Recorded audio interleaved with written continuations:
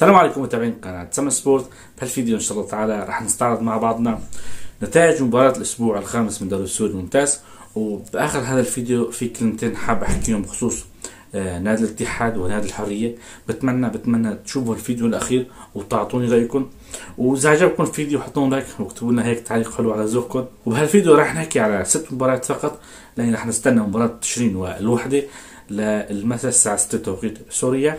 وراح نبدأ بأول مباراة فوز الكرامه على الطليعة 1-0 سجل هدف الكرامه عمرو جنيات في الدقيقة ال 88 مباراة كانت متكافئة بين الطرفين وكانت كف كفة نادي الكرامة هي الأرجح والكرامة مثل ما حكينا بالفيديو الماضي رجع لتألقه رجع لانتصاراته وإن شاء الله نشوف الكرامة بالأيام القادمة أو الأسابيع القادمة بأحسن المراتب. وطبعا لقاءات الكرامة ونادي الطليعة ديربي العاصي هذا المباريات الحلوة بين الفريقين دائما. وكذلك الأمر فريق الطليعة فريق مجتهد فريق آه، بيعرف شو بده من المباراة فإذا مبروك لنادي آه، الكرامة وهارد لك لنادي الطليعة طبعا بعد هذا الفوز الكرامة تصدر الدوري مؤقتا.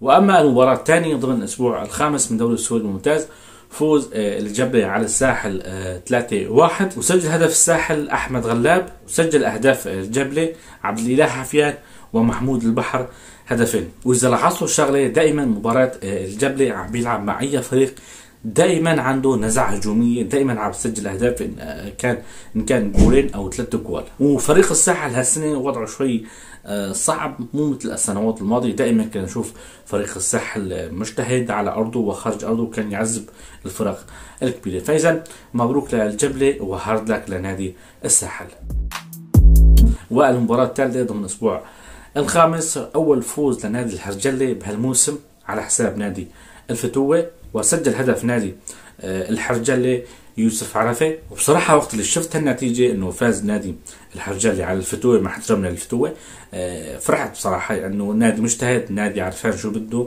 عنده هدف. وهالموسم إن شاء الله راح يضل بالممتاز وبالموسم القادمة راح يكون عنده استراتيجية ثانية فإذا مبروك للحرجلي وهارد لك للفتوة الفتوة كمان بده شوية صبر.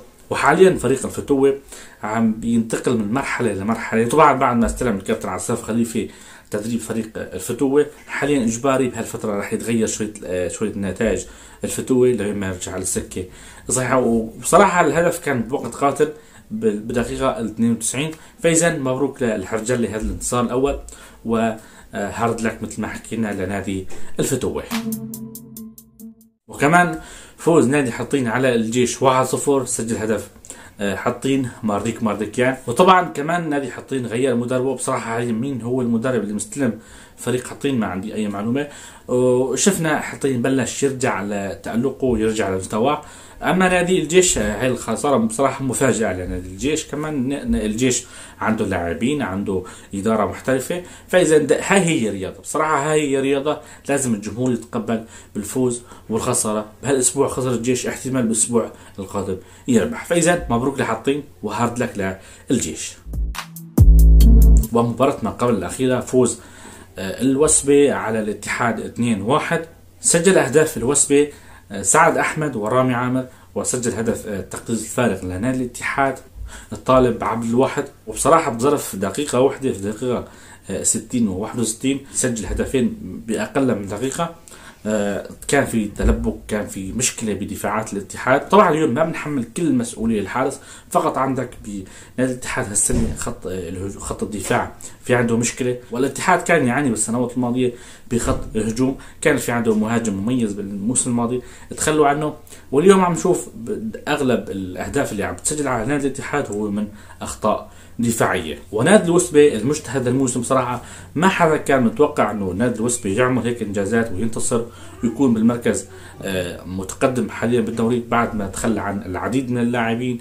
وأيضا آه، الإدارة استقالت وأيضا آه، الكابتن هيثم جطل ترك الفريق بعد ما شفنا الكابتن أنس مخلوف تدريب نادي الوسبه شفناه كمان رجع بقوة رجع رجع بتالق فاذا مبروك الوسبه وهارد لك للاتحاد. بعد شوي راح نحكي كلمتين عن نادي الاتحاد. والمباراة الأخيرة ضمن الجولة الخامسة آه، فوز الشرطة على الحرية 2-1 وسجل أهداف الشرطة أحمد محايا وسامر خان كان وسجل هدف آه، تقليص الفارق لنادي الحرية سالم السالم. بصراحة وضع نادي الشرطة متذبذب بتشوفه بيتعادل بيخسر بهالمرة الربح وهذا الانتصار الأول لنادي الشرطة. وأما إذا حكينا على نادي آه، الحرية بصراحة يعني ما بعرف وضع الحرية شوي غريب. آمنا وصدقنا أنه الاتحاد غير المدرب وغيرت الإدارة ولاعبين جدد بس اليوم الفريق الحرية مجتهد. طلع للدوري الدرجة الأولى بنتائج كويسة. وشو اللي صار آه، بعد ما تأهل للممتاز بصراحة ما عاد عم يعرف. دائما عم بتحججوا إنه والله كان فترة التحضير قصيرة. شوفوا اليوم نادي الحرجلة بنفس الوقت فاز. أنتوا عم تخسروا. يا جماعة يعني شيء بالعقل كمان. اليوم فريق مثل الحرية طلع للدرجة الأولى لازم يكون عنده حس تسجيل حس تهديف لازم يكون في عنده خطة استراتيجية. دائما كنت أمدح بنادي الحرية عم بيشتغلوا على القواعد عم بيشتغلوا على ال ال ال ال الإدارة وعلى هاي الشغلات. ولكن اليوم فريق الرجال في عنده مشكلة. بصراحة في عنده مشكلة. الخسارة تلون الخسارة. آه، اليوم بعد مرور خمس مراحل عندك نقطتين. مشكلة كتير كبيرة. يعني بدك ترجع يعني لا سمح الله للدوري الدرجة الأولى. فإذا آه، مبروك للشرطة وهارد لك الحرية آه، فإذا هدول نتائج مباراة الأسبوع الخامس بانتظار فقط. مباراة آه، تشرين والوحدة. بصراحة حتكون مباراة قمة. إن شاء الله حخلص فيديو وأرجع أتابع المباراة. حاليا خلينا نشوف جدول الترتيب كيف صار.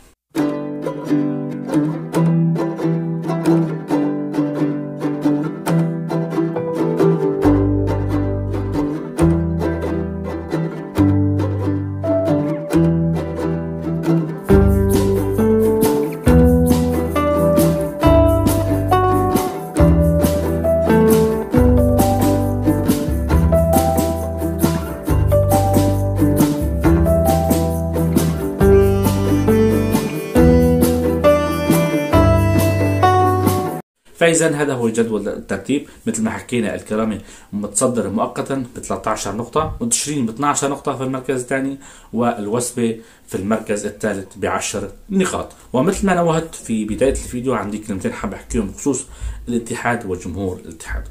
اليوم ما في اثنين بيختلفوا على النادي الاتحاد نادي كبير ونادي عريق. دائما كان يخرج آه، اللاعبين والإداريين والمدربين لكل الأندية السورية. ما في اثنين بيختلفوا عليه. وكررت هذا الكلام أكثر من مرة بصراحة مشان ما يمل الجمهور. ما يقول الجمهور والله انك تنحاز لنادي الاتحاد. أي فريق اليوم ما يكون بوضعه راح نحكي عليه. حكينا بالموسم الماضي على الكرامي. حاليا الكرامي عنده إنجازات عنده نتائج حلوة عم نمدح فيه. ولكن اليوم وضع الاتحاد وضع سيء جدا. أنا فقط كلمتي اللي حاب أحكيها وبجوز تكون صعبة على جمهور نادي الاتحاد طولوا بالكم على الفريق. في مشكلة بالفريق لازم تنحل. الإدارة الله يعطيها العافية عم تشتغل. غيرت المدرب جابت لعيبة على كيف الجمهور تقريبا. ولكن اليوم بدها شوي طولة بال. هالكلمة كتير صعبة ولكن آه، اسألوا اللعيبة اسألوا حال اللعيبة. ليش هيك عم بصير معكم؟ هن نفسهم المرضين ما في اليوم شخص ما بحب النجاح. ما في شخص ما بحب إنه دائما ينتصر أو يكون عنده تألق. ولكن اسألوا حال اللعيبة. بصراحة وضع صعب صعب جدا. لاعبين نادي الاتحاد حاليا فايتين بوضع يرثى له مشكلة كتير كبيرة. لازم نحن الجمهور أنا كمتابع وأصدقائنا المتابعين عشاق نادي الاتحاد وقفوا وقفة رجل مع نادي الاتحاد. لا بس نكون مع نادي الاتحاد وقت الانتصارات. هذا غلط. برأيي الشخصي هذا غلط. بتمنى من عشاق الاتحاد وما أكثرهم ما شاء الله. هدوا شوي. وقفوا النشر على الفيسبوك. عطوا عطوا الفريق فرصة ثانية لسه الأيام القادمه والدوري طويل. يا أخي نحن ما بدنا خلص ننافس على الدوري. خلص نحن خلينا بالمراكز بين الخمسة والسبعة والثمانية. نحن حاليا بهالموسم كفينا. صعب هذا الكلام على جمهور نادي الاتحاد. ولكن خلص يعني وصلنا لحد إنه اللاعبين بطلوا كرهوا حالهم بالأحرى. كرهوا حالهم وكرهوا شيء اسمه رياضة. عم يلعبوا عم وصلوا الهدف ولكن ما عم يسجلوا التوفيق من الله سبحانه وتعالى.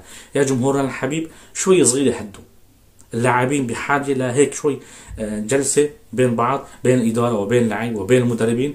بدهم شوي لازم تهدوا شوي على الفريق. مشكلة كتير كبيرة لأني بصراحة. بتمنى من المسؤولين على المجموعات عبر الفيسبوك هدوا شوي وقفوا النشر. آه، بعدوا عن الغلط بعدوا عن الشتيمة. اللاعب بحاجة فقط إنه بصراحة أنا بتوقع الاتحاد بس فاز مباراة واحدة راح يبلش يرجع لمستواه الطبيعي. هذا اللي حبيت أخبره وحكيت على نادي الحرية. ومشان ما أطول عليكم الفيديو إذا عندكم أي سؤال أو أي اقتراح اكتبوا لنا بالتعليقات وبالنهاية تبقى خير الصحه والسلامه السلام عليكم متابعين قناة سما سبورت.